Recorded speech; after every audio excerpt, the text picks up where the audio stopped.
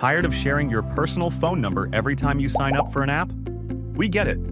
But what if you didn't have to? The good news is, you don't.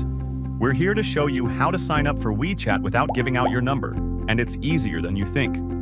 Start by visiting krispcall.com, where you can get virtual phone numbers from over 100 countries to easily sign up for WeChat. Plus, when you sign up with KrispCall, you get one free virtual number from the USA, UK, or Canada. Here's how to get started. Sign up for KrispCall and select your preferred number from the USA, UK, or Canada, or any other country you prefer.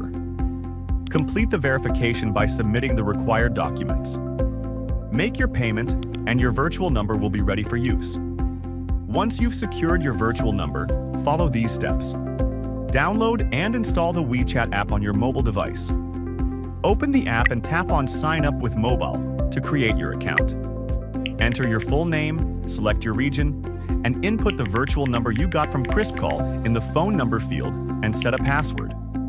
Tick the privacy policy and click Next. Authenticate your WeChat account, and then WeChat will send a verification code to your virtual number.